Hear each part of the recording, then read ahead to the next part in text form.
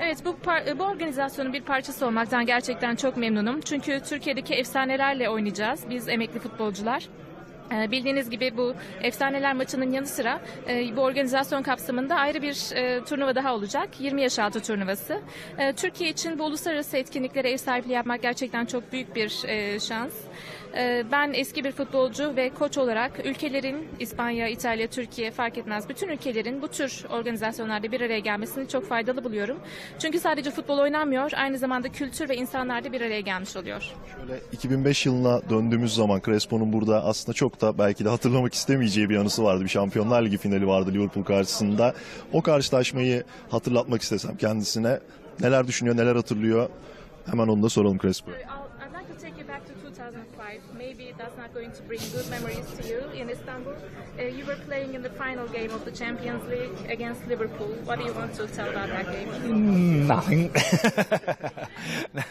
Nothing to re- to re- to remember. Everything to forget. No, uh, it's about uh, joking, but in the same time, it uh, was was a, experience. Sometimes a negative situation uh, become a positive situation because we like football because uh, happen this kind of situation.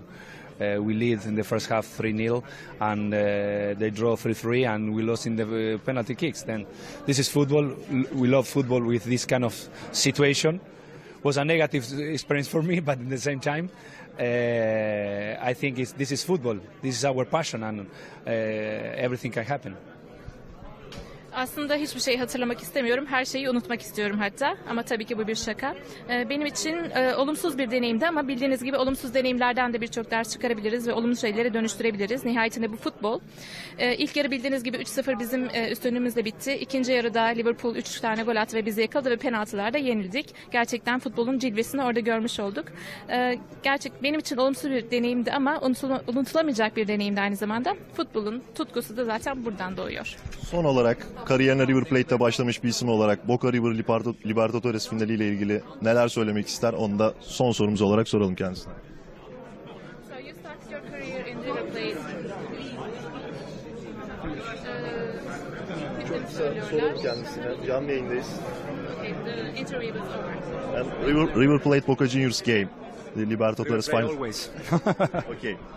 Organizasyonda küçük bir sıkıntı olduğu için burada müdahale ediyorlar röportajı ama kendisine River Plate Boca Juniors karşılaşması ile ilgili, Libertadores Kupası finali ile ilgili son olarak düşüncesini de sorduk. River Plate ile ilgili temennisini kendisi iletti Hernan Crespo.